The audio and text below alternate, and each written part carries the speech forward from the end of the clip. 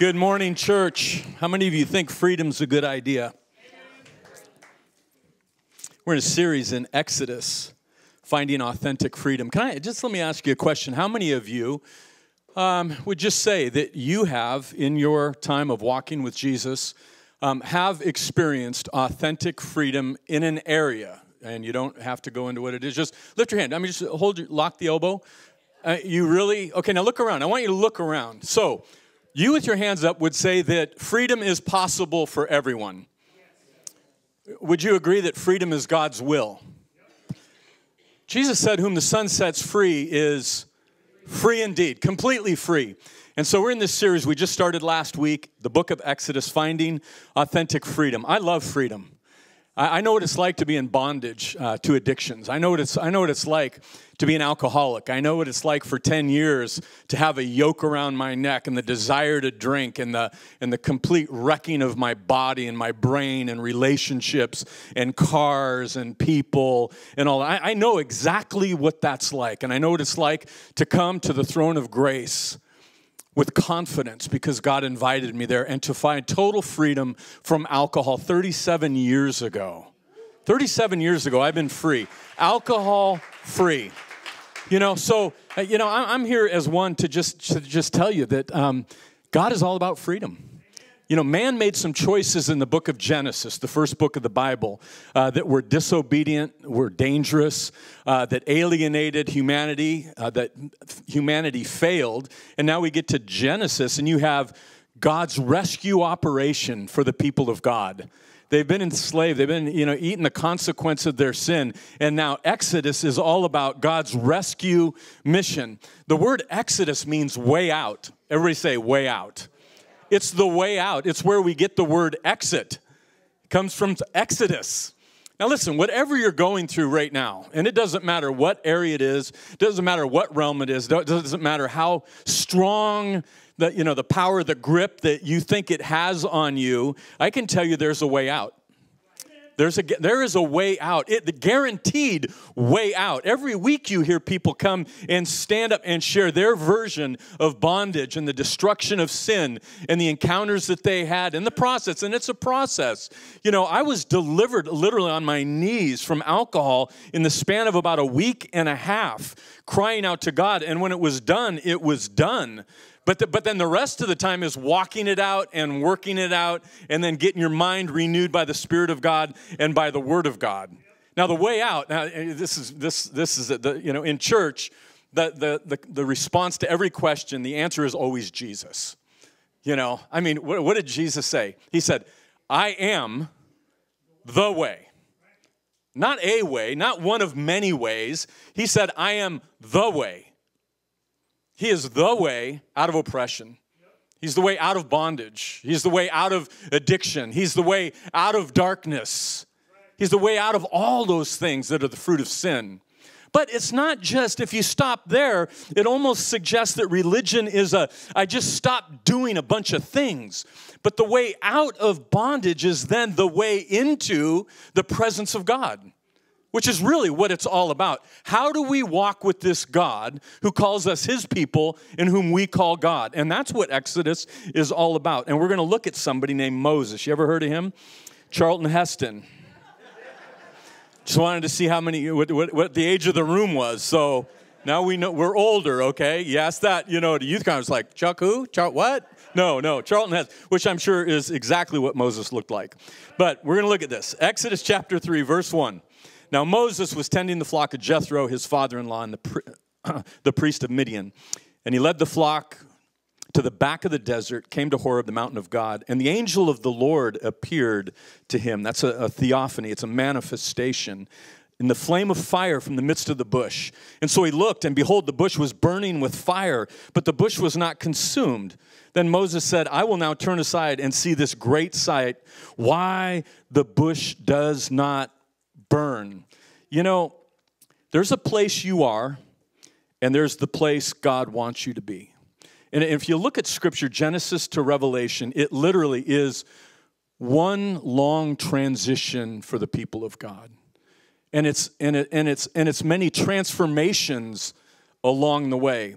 And we're going to see this, this timid and reluctant leader, Moses, and you're going to see God confronting him and coming to him and doing things for him. And, and, and, and when you see this first thing, this is kind of the first, you know, leadership mm, lesson for Moses, a burning bush that does not go out. And when, when I see that, you know, it, it really occurs to me that God will use anything and everything at his disposal to reveal himself to you. In fact, when you found God, probably wasn't just on some kickback, lazy day enjoying life. It was probably in the midst of some kind of pain. It was probably in the midst of some kind of struggle. It was probably in the midst of some profound questioning about the origin of things, about God, about your purpose in life. Uh, he met you in futility. Futil- futility of life was one of the ways that God met me, where life didn't make sense to me uh, life seemed to be lived on terms of just getting pleasure, habitual pleasure, which led me to habitual emptiness and, and spiritual and moral bankruptcy, which caused me to turn to God. And so, you know, the bush is just, you know, kind of a representation that God can and will use anything in our lives to speak to us. He uses all that kind of stuff. Verse 4 The Lord saw that he turned aside to look. God called to him in the midst of the bush and said, Moses, Moses. Now, when God calls your name twice, you really pay attention. You know, there's eight, eight times in Scripture where God calls somebody by name twice. You know, Simon Peter, he said, Simon, Simon.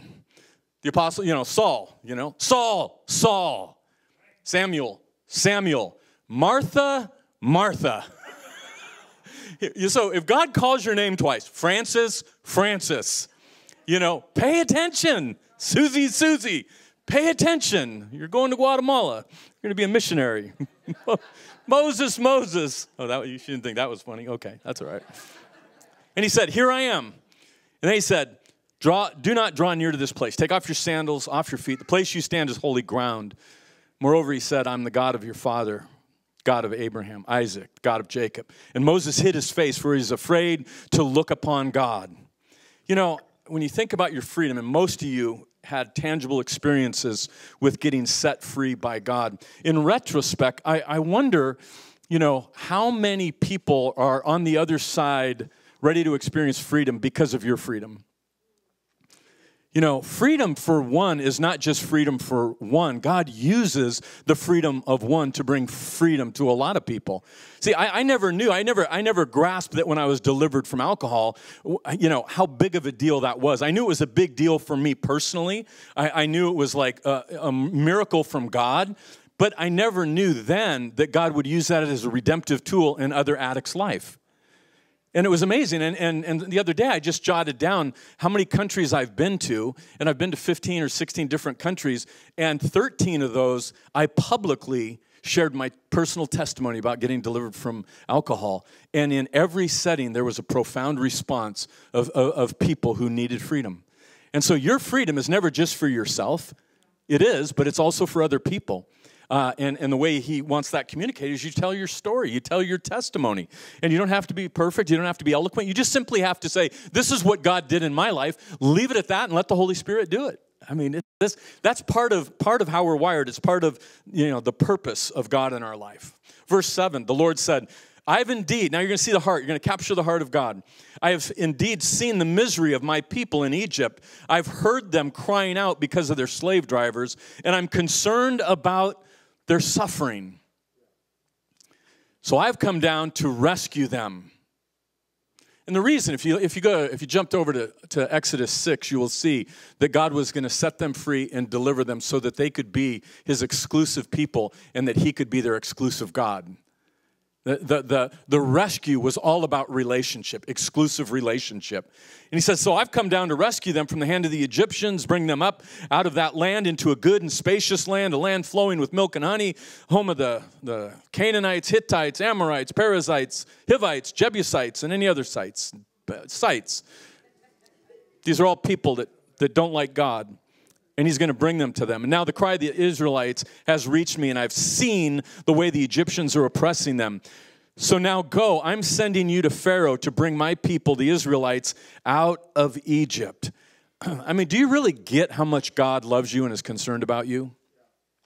I mean, do you really kind of understand? I mean, I, it's one thing to go to a church and hear somebody talk or, or read scripture, but you have to understand that God has a redemptive heart for you, that, that He has heard your cries. And, and once again, I don't know why God delays answering some prayers. I, I really don't. Um, I could speculate, but I don't, don't want to ruin it. But I, I, just, I just think that, that you and I really have to grasp the love of God for you the love of God for you in spite of who you are, the love of God for you in spite of what you've done. See, your history doesn't really matter to God in the sense that it doesn't lock up his heart of love for you and towards you. I mean, that's, I mean, you know, Jesus talked about this. It's not those that are well that need a physician, it's those that are really sick. How many of you were really sick before you came to Jesus? Yeah, really, that's the only way to describe it. Very, very sick. And so God says, I've seen it, I'm concerned, I've heard your cries. And then he says this this is really, he says, I've come down to rescue the people. But then notice what he tells Moses in verse 10. So now go, I'm sending you to Pharaoh to bring people, the Israelites, out of Egypt. Now, wait a minute. this is kind of a little bait and switch here. the, the, leadership bait and switch. It's like God says, I'm going to come down and rescue. And Moses is probably thinking, wow, that's probably going to be pretty amazing. Wow, I just can't wait to see that. Wow, God, you're, you're talking out of a burning bush and you're talking to me and you're telling me your plan and you're going to go do this great thing. And then all this he slips in. So I'm sending you. it's like, how did we go from you're coming down to I'm going in? I mean, that's isn't that just kind of interesting? God kind of, you know, kind of ropes us in sometimes. oh my gosh. Unbelievable. I thought you were going, oh no, no. That's how we're starting. no. You know, if the Spirit of God dwells inside the believer, not just the church building, I think we have a responsibility to hear the cries of people in bondage. Uh, I don't think it's, I think we as the body of Christ with the Spirit of God should have ears to hear what God is saying, but also what are the cries of people and not ignore them. You know, once, here's, here's what it looks like. I have good friends that live in Greece. Uh, he works for the State Department, and somehow on a day off, they found 700, 1,700 Kurdish refugees uh, that have escaped out of Syria and Iraq and all those places, and a lot of them have, have lost whole family members or some family members. And so last Sunday, they FaceTimed LaDonna and I, and they just said, Hey, look, here's the situation. There's 1,700 Kurdish refugees that are in just chain link fence with little, um, just these little mini trailers, and they have absolutely nothing. Would you pray about coming and just doing something? Now, here's the deal it's either yes or no. And, there, and, and, and, and nobody can meet all the needs of everybody. We get that. But I'm responsible to, for what I'm hearing. I'm responsible for what kind of cries are getting through this head and this heart, and what is God's heart for that particular people. I've never been to Greece. I've never been around Kurds. I don't know what the deal is, but I, I got a feeling that when I go, um, it's going to be intense. And, and so, yeah, I mean, we have to look at this, man. There's people crying out all over the planet. And you and I are not just called to live this little American dream Christian life where we just go about our business, but we're, we're to walk around and decipher and discern, you know, who's crying what? That's, I mean, who's crying? I don't, I don't, we don't have the, the luxury to just kind of go, well, that, you know, that's the UN's problem. That's the, you know, that's the European Union. somebody else will do it. I, I, you know what? I don't, after walking with God, you don't, we don't get that kind of stuff. We got to pray. So pray for us. I'm, you know, planning on going to India to see our friends there and then going to take three or four days, swing down there, uh, 10 hours by flight, swing down, just going to swing on down there. 10 hours, then four hours, then another hour up into the mountains. And you know what? I don't know what I'm going to encounter, but somehow there's a response required from me. There's a response required from the church. It's all about relationship.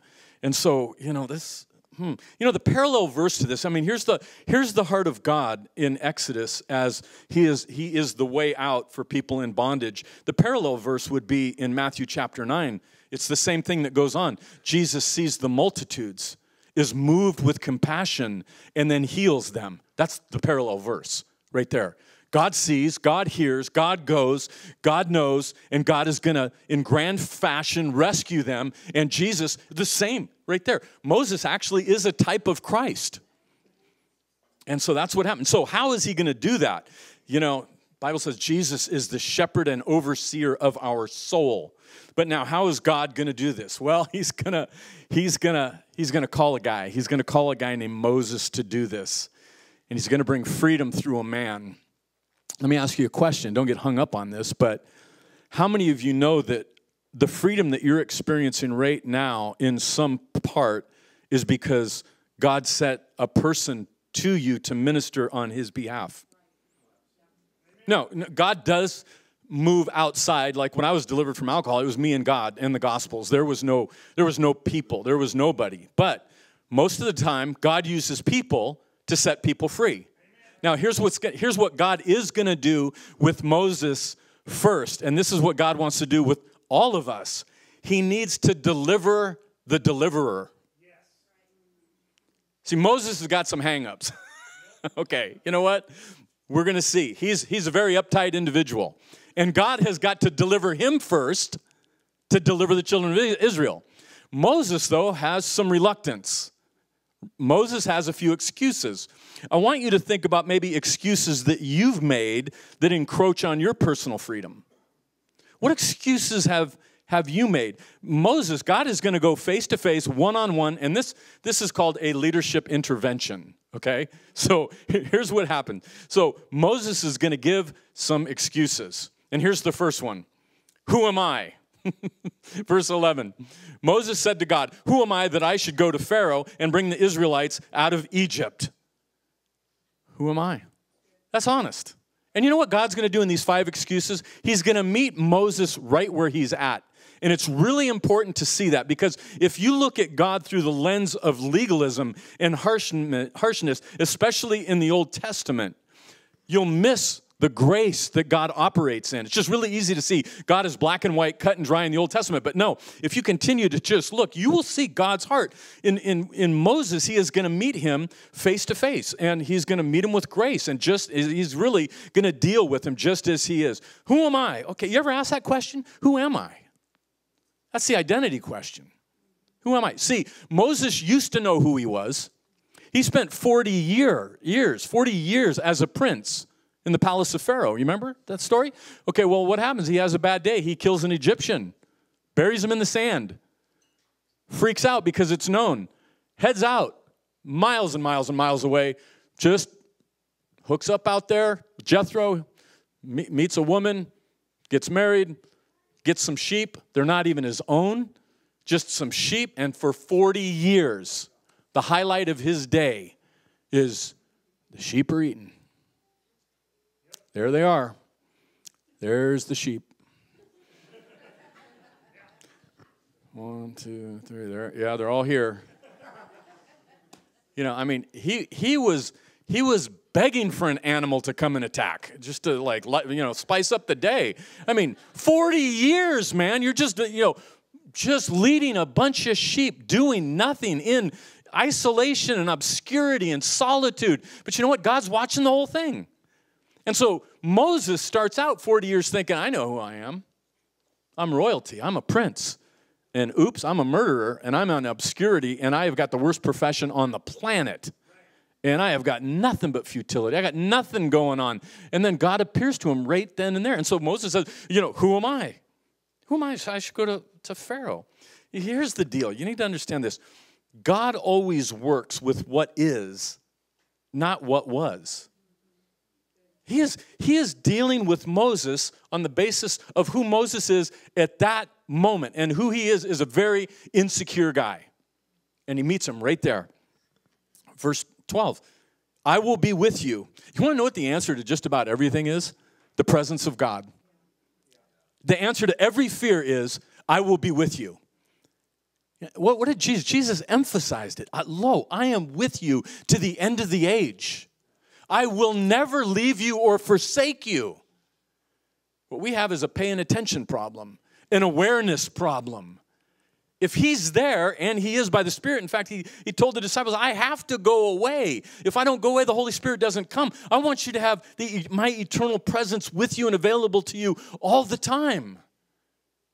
So that was his response god's response i'll be with you. It's about presence if you don't know how to do that i mean i know you can hear people and just talk about different you know how they practice that or how they do it but i will just tell you you know for me when you get in the in the middle of worship you sense the presence of God. You do. You put I will I will put worship on just for extended periods of time and just let it just be there. Just be there with God. Tomorrow night, House of Prayer will be going from 5 to midnight. You can just come in for 10 minutes. You can come in for five hours, do whatever. Come in and you can just sit. You know, the first time I went to a house of prayer, I fell asleep. and it wasn't because the music was bad at all. I, what it was was I was so religiously busy I was tired, and so I went in and I thought, okay, I'm going to assume the meditative pose. and then it transitioned into the, the meditative drool. You know, and it was like, and then all of a sudden, I'm conscious that people might be watching me. You know, that, wow, you can't do this. You're in a house of prayer. You're going to, you know, pray to Jesus. I'm going after stuff right now. You know, where's my Bible? And pacing back and forth. And I'm just sitting here, man, my eyelids are so heavy. So I went with it. I just conked out, you know, just did the twitch, did all that kind of stuff. And you know what? When that and that was about about an hour, and I'm not an nap taker, but when I was done, I felt like the Lord said, you know, guess what? It's totally okay to rest. I never knew that. Because I got the perform thing down. I got the conscientious thing down, be conscientious. I didn't have the it's okay to drift off in worship in the presence of God. So, you know, I've never felt guilty about that. I feel awkward about the drool. Yeah, I get that. But, you know, that's, it's totally okay. So, excuse number two. He says, so he goes, who am I? Then excuse number two, he goes, what do I say? Well, these are great questions. These aren't bad questions. These are great questions. Verse 13 Moses said to God, Suppose I go to the Israelites. I say to them, The God of your fathers has sent me to you. And they ask, What's his name? What do I tell them? You know what? And God meets Moses right where he's at. Here's the deal the more you study the nature and character of God, the more you realize that God is never intimidated by the coexistence of faith and doubt in your life. Now, I came from a camp that, man, you couldn't make a, you could not say anything negative about anything. I mean, literally, if, if you said, oh man, I got a headache, it's a symptom, brother. No, it's a real headache. I swear to God, it's a real headache. No, brother, it's a lie of the enemy. He's not lying this time, it's real. But no, there, that was the environmental grooming that went on. You could never be honest. And so what it created was a bunch of religious fakers. You could never say, you know, it's like, you could never say you had a problem. You could never say you had a pain. You could never say you had anything. You just had to, you had to play this like shell game. But I'm, t- I'm telling you, the more I study the nature of God, he, he, he doesn't fall off the throne because you got some doubt. Are you kidding me? He remembers our frame, and we are just dust. Yeah. You know, Moses, Moses is being completely honest. He's going to have some faith. He's got some doubt. They coexist. And I would say, if you're honest with yourself, on your best day, you believe God supremely to do great things and awesome things. And on your worst day, where is God? And those two coexist. And so we feed our faith, yes, and we starve our doubt, and we bring what we have to the table, and God knows what to do with it. God always has a response. That's the great thing. Verse 14 God said to Moses, I am who I am. What? I'm, so I'm going to tell him, I am who I am sent me. who is this God you talk about? I am who I am. He sent me. right. That's just kind of wow. I am who I am. What's he saying? It, the I am of God is the otherness of God, the self sufficiency of God, the God that needs no one, the eternally self sufficient, self existent one. That's what you're going to say, Moses. I am has sent me to you. Excuse number three. Suppose they won't believe me. Moses answered, What if people don't believe me or listen to me? And they say, The Lord did not appear to you. You know, isn't it interesting when we play the what if game? How can we always play it on the negative side? Why do we always play it the, well, what if this happens and what if this happens? Why isn't, what if it does happen? Well, you know, I, I'd pray for more people, but what if it doesn't work? What if it does? I'd, I'd share my faith more often, but I just don't think they really want to listen to me. What if they do?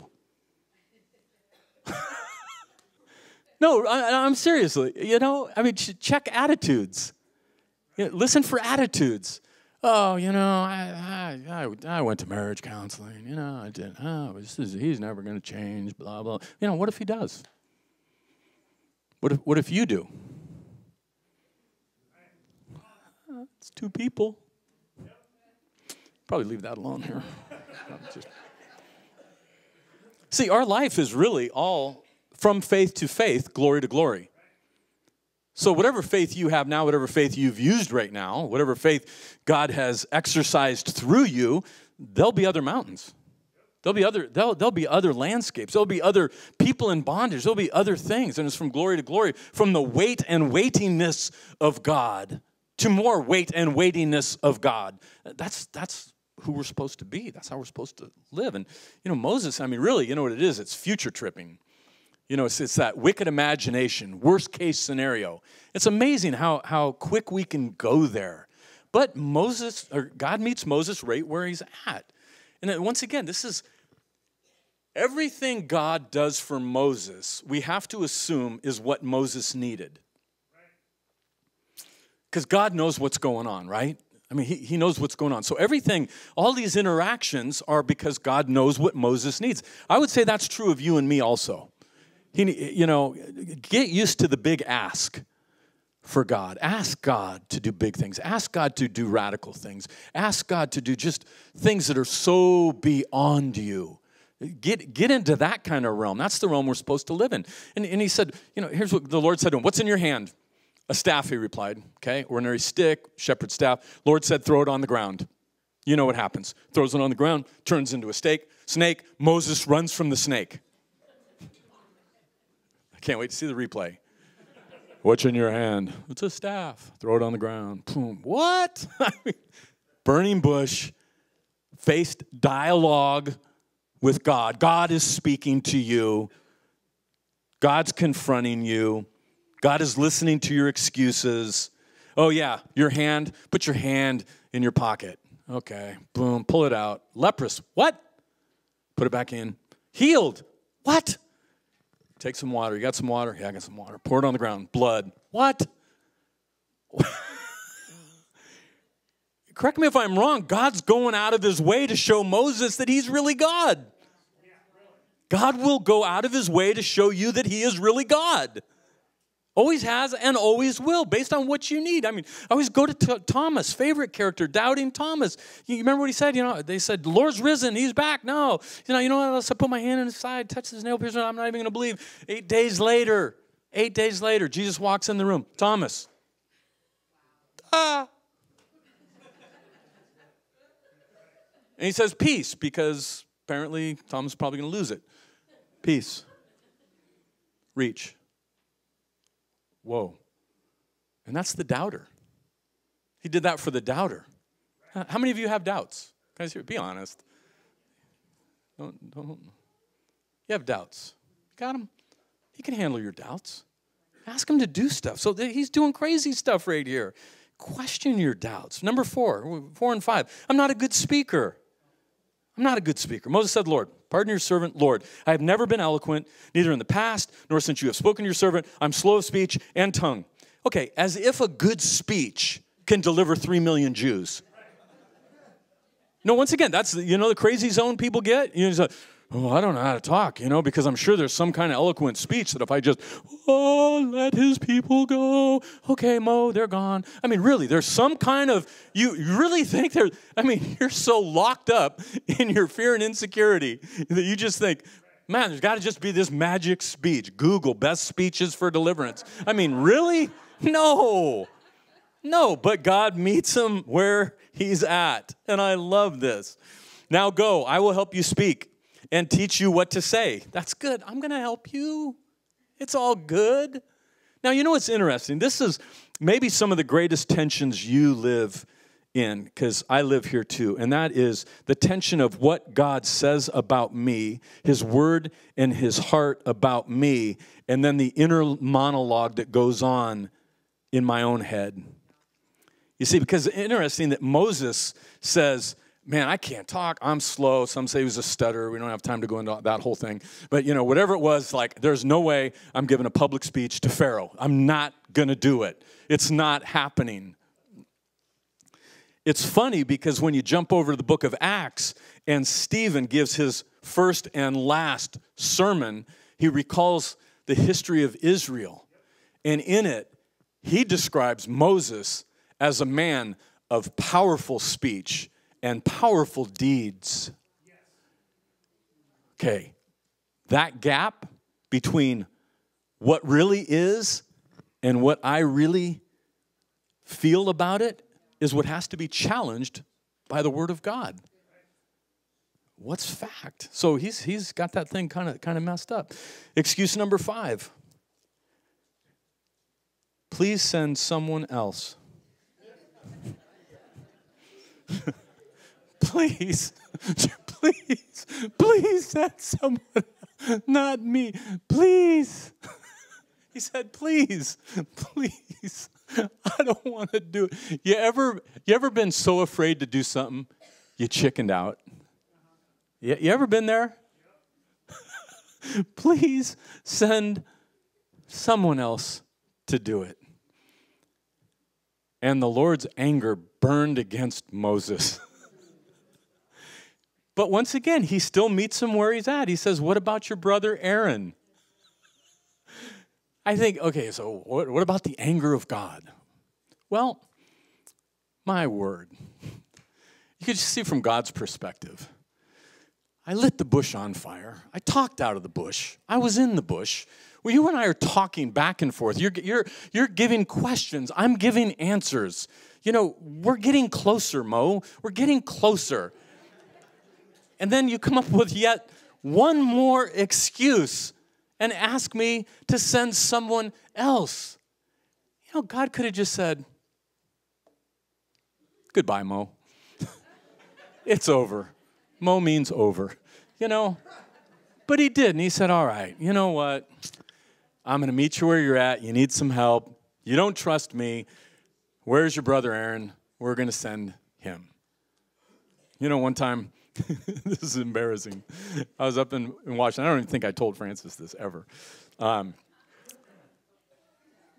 Francis came up and spoke like once a year at my church in Washington. Well, the church grew. I mean, it was just growing and growing. And man, I was just, the more it grew, the more intimidated I got. It was absolutely frightening.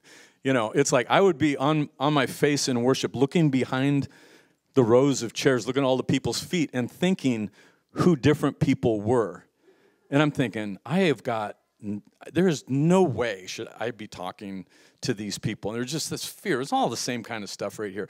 And, and so church is growing, it's growing. Then Easter comes and we start having all these people and all these people. And then one year it was like a thousand and then it was 1500. Man, it was seriously, it got rocky. And then the next year, you know, people said, you know, it looks like there's going to be 2,000 people here you know, so we rented out this gym, and and it was like I was so stinking scared. I called Francis. I said, "Hey, I think you should come speak uh, Easter Sunday." I think, the, I think the Lord, I think the Lord's telling me that you should come and speak Sunday. He goes, really? Let me check my schedule. You know, be- beads of sweat are coming down my my deal. He goes, yeah, I can do that. I said, awesome. you know, and I'm telling you, man, and, and that gym was packed. And there was 2,000 plus people in there. And I was looking, I just thought, I'm so glad Francis is here. but it was a total wimp out. It was a total wimp out. I was so stinking scared. And But you know what happened after that? God said, okay, you know, you get that one pass. you get a pass. I'll give you a pass. And it was good. Francis did great. Church went on. It was awesome. But you know, next year came around, same thing. There's no wimping out of that one. It's like, Francis, nah, forget it. I got to face the music. So, anyways, Pastor Francis is back from Guatemala. Him and Susie got back from Guatemala. Want to hear what went on, what's going on? Guatemala. Thanks, Bob. I do remember these phone calls. Francis, this is Bob. And uh, he'd begin to share whatever the story was. But uh, I was always incredibly blessed to go and to see what God was doing. And God did great things during that season. You know, Susie's in the first row, so I'm always a little nervous. And. Um,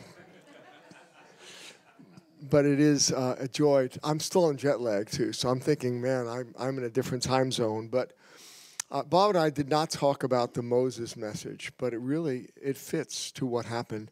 In October, these two Hispanic uh, pastors from Guatemala came up, and um, I heard uh, through my uh, uh, assistant Lydia, uh, these pastors are coming and they want to talk to you. So she set it up for me to meet them in Starbucks, and I knew them from many many years ago. But then I heard that they wanted me to go to Guatemala again and do a series of meetings, a whole like litany of things they wanted me to do. And I'm literally driving to Starbucks and I am thinking, how can I tell these guys, you know, I've not been there in 30 years. I know we had an incredible time. It was awesome. We'll always remember Paris. It was awesome, but I got nothing. I mean, 30 years later, I, I saw the list of what they were looking for. And so you know, who am I? What can I say? Who else can go? Those are all the thoughts that were going through my mind. So literally, I'm arriving there, and I'm not thinking about I can't wait, you know, to hear what what's going to happen. I'm thinking I'm going to tell them this, and I don't want to be want to be hurtsome, but I'm just not going to go. So all of a sudden, I'm there, and um, they just begin to share their hearts, and all of a sudden. God says, Well, you could share that, and you could talk about that, and you could do this. And oh, okay. And then finally, I'm kind of making a list, and then I get sucked in. All of a sudden, I'm saying, I could come, and, you know, they have a board, they have a university with 14,000 students. And so they want me to address all the deans. I do deans, absolutely dean. I'll do a lot of deans. You know, usually I'm 20, 30, 40 deans is my typical morning. But anyway, so so, and then all of a sudden I begin to share, yeah, I could share about how Christian principles have transformed nations. And, you know, I'm just spouting these things as if I know something about that topic. But, anyways, but thank God I Googled best speeches. That's what I Google. No, I'm, I'm a bit overstated. But, so then they, they say, you know, bring your wife, want you do a marriage seminar. I mean, literally, they listed these guys were going to suck every ounce of life out of me. And so they had 15 speaking engagements. I mean, literally 15 times. So Susie and I, and again, she was not excited either. So, uh, but I had promised Susie 30 years ago that there's a beautiful spot in Guatemala. Sweetheart, I've been there a number of times in the 80s. I would love to take you there. But it was, you know, wishful thinking.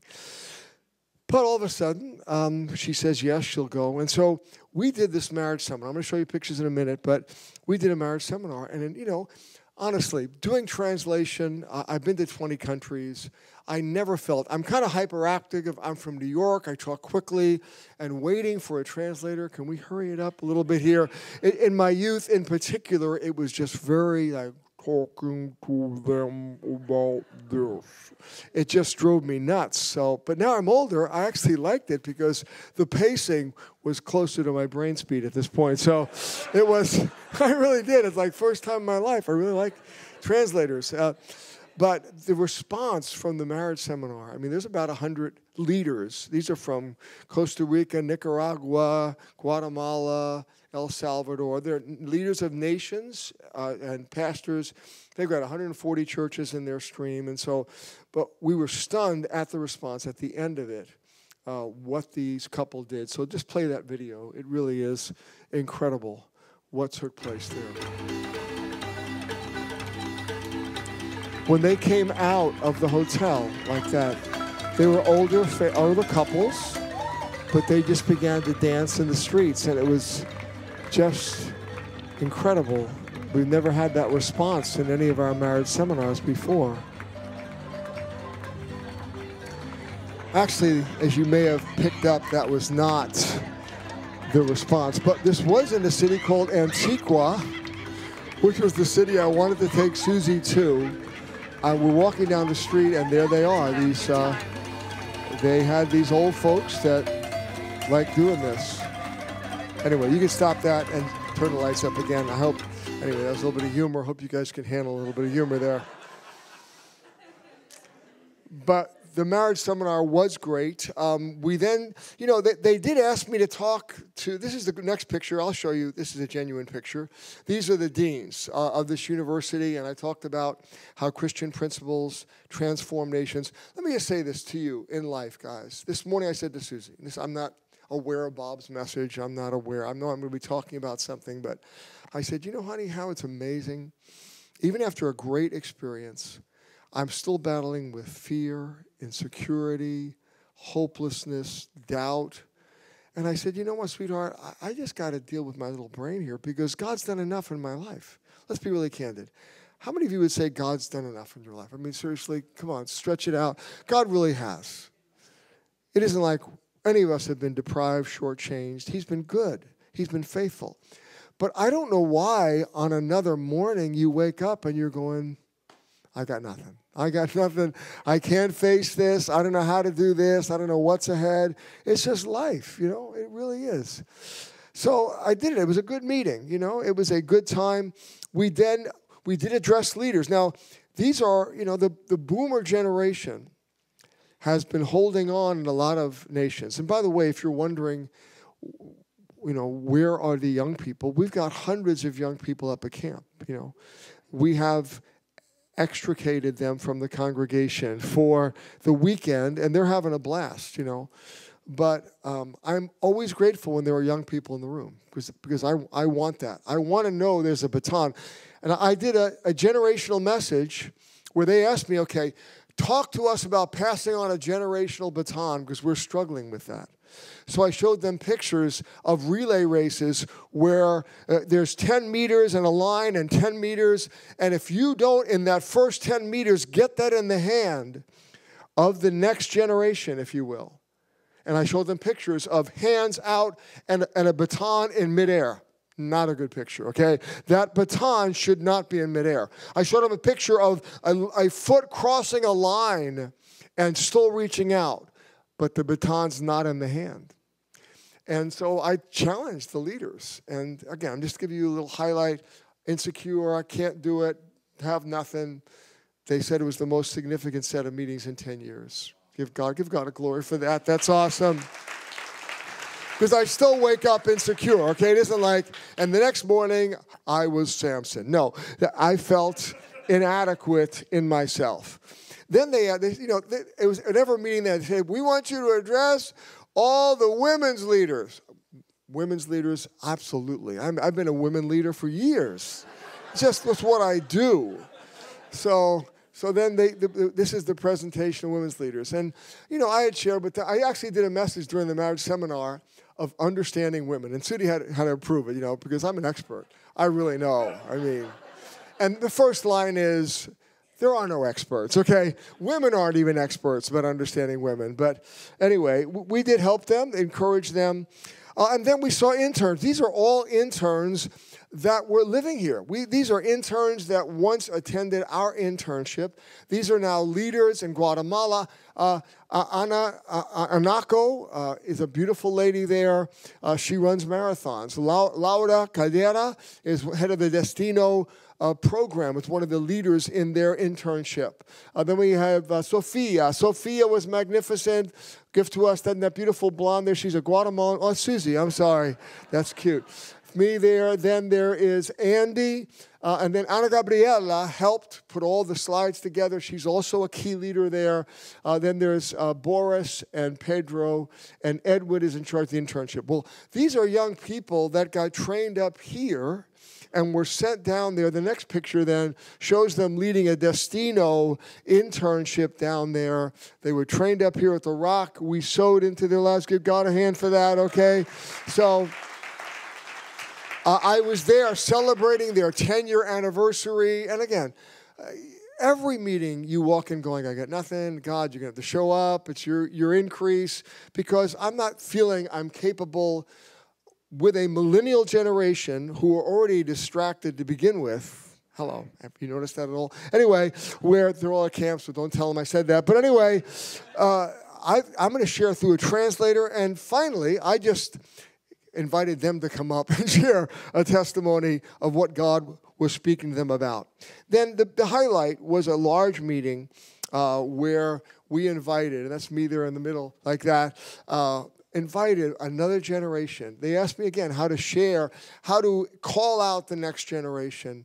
And 400 young people came forward on the stage. It was powerful. Old generation came forward, prayed over them. A baton is being passed. I showed them pictures of us as hippies, okay? I showed pictures of a group that went to Guatemala in 1976 after an earthquake where 30,000 people were killed and 15 hippies from gospel outreach went down. And they are your grandparents because they left America to go to a country they've never been, speak a language they've never spoken, drove through Mexico, through Latin America for three, four days and arrive at a place. Now there's 140 churches there. And when I showed the picture of us and of others, I said, Do these look like people that are promising? I mean, do you feel like, can't wait to see what they're going to do? And, and, and so I was encouraging the, the older generation to believe in the next generation, the next generation to believe in who they're called to be. Uh, then I spoke at a church there in Antigua, had a wonderful time. And then Susie and I, I took her to the place I promised I'd take her to, uh, in front of a volcano. Susie grew there. It was amazing. She just became, got taller just being there. But there are, Lo, I'm with you always. Anyway, so that's a little. There are two volcanoes in this town. One is, is called the Agua volcano, which, and this town goes back hundreds of years. There was a lake on top of that that over time got so large it eroded and a mudslide came down and destroyed a whole village. Thousands of people were killed. That's the Agua volcano. But then there's also the Fuego volcano, which is a fire volcano. So, right in town, the Fuego volcano continues to erupt. Uh, that is a little bit of stuff coming out of there, in addition to clouds.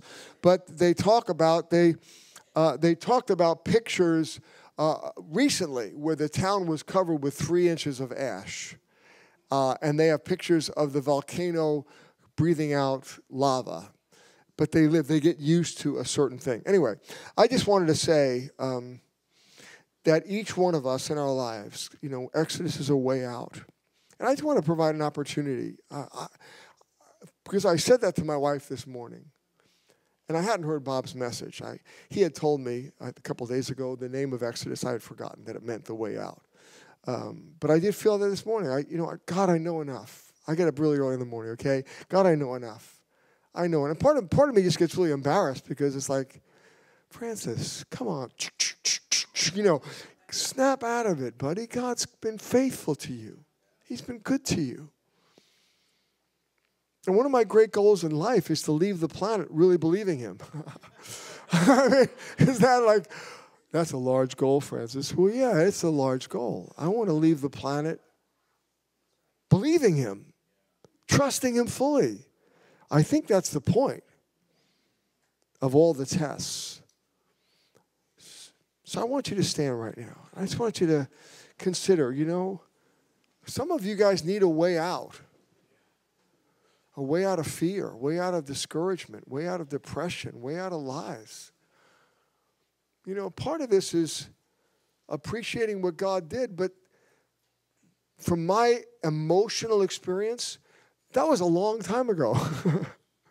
uh, that was last week. Uh, it just feels like a long time ago. When I woke up this morning, it didn't feel like last week. That felt like old news. But I want us just to respond to the Holy Spirit. What does God want you to believe for? What, what are you, where are you stuck? And you need to believe that He's got a way. He makes a way where there is no way. He makes streams in the desert. You think God is ever concerned about any of our issues going, well, that's, that is pretty big, Francis. I do see why you're concerned. I mean, ooh, I can hardly look at it myself. It's a joke. He's grooming kids, He's raising children to trust Him. And He wants us to trust Him. So, whatever it is, I just want you to, um, as we reach out our hands to Him, to say, God, you know, I trust you. Come on, I trust you. Forgive me for not resting in you, not enjoying the ride, not believing you. Forgive me for giving into fear and unbelief and doubt and insecurity and frustration. Gosh, what has to happen in my life? What else do you have to do? You've been good to me, Lord. You've been faithful to my life. And I'm speaking to me. You know, all of us have to understand I'm being prepared for greater challenges ahead. Do you ever see really, really old people? Don't look around right now. They got greater challenges. You know, you hang around old people and they talk about where their body's hurting and, you know, uh, just pain and loss and lack and insufficiency. And I don't want to be this little grumpy old man. I, I want to be a guy who's trusting God and faith. Uh, you know, I want every one of us in this room to believe that our best days are ahead. I believe that. I believe that. I'm going to live forever. But beyond eternity or before eternity, I, I want to be the guy who's, you know, what is he so happy about? Because he's trusting God. What is he excited about? He's trusting God. He's thanking God for today. He's reminiscing of all the Lord has done and enjoying the memories of God's faithfulness. And maybe you've never seen God move. And again, I did look around the room a few minutes ago when I said, Haven't you seen his faithfulness? And some folks were sitting on their hand. And I'm sorry that you missed it.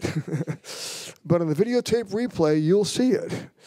And you'll realize he was faithful in your life. He, he was faithful. He was faithful. You know, a lot of the diligence that was worked in my life was in horrible boarding schools, in oppressive environments that worked discipline in my life. It makes me the man I am today. It makes you the woman you are today. Let's stop whining about what we don't have and thank God for what we do have and see what He has done. So, Lord, we reach out our hands before you, Lord.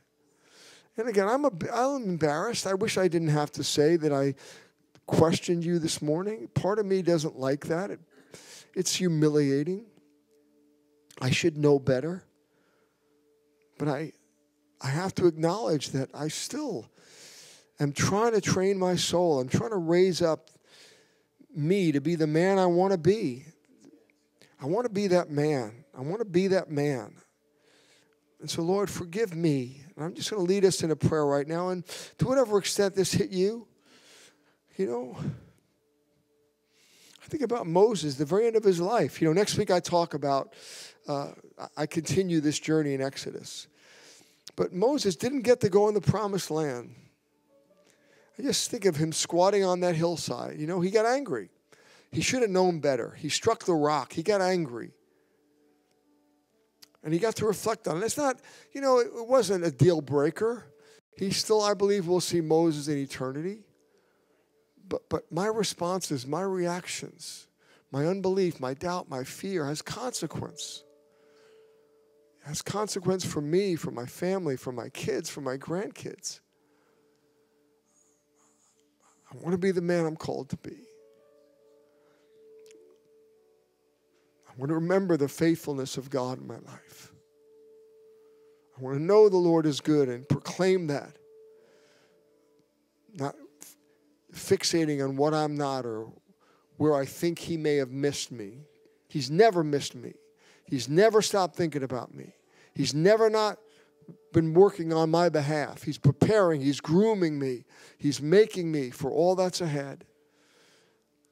So, Father, I pray for these dear ones as they're about to pray a prayer that's got to be a confession of their own heart. I pray that they today would reach up through the clouds, reach up through the fear and doubt and unbelief and discouragement and whatever mosquitoes they're swatting, Lord, because they are nothing. They're mosquitoes compared to the truth of your love and your faithfulness. And we pray this prayer we're going to pray with conviction from our guts. Would you pray out loud, Heavenly Father? I trust you. You have given me a way out of the challenges I'm facing. You're bigger than they are. And so we trust you today. Thank you, Jesus, for dying for me, for dying for my sins, for having my sins piled on you and bleeding out to rescue me. I thank you for this day you have made. Lord, bless the young people at camp, Lord. In a mighty way, God. Let them come back fired up, God, as mighty twigs under our old wet logs to make us burn hot for you. In Jesus' wonderful name. And Lord, I thank you I don't have to use an interpreter today. Amen.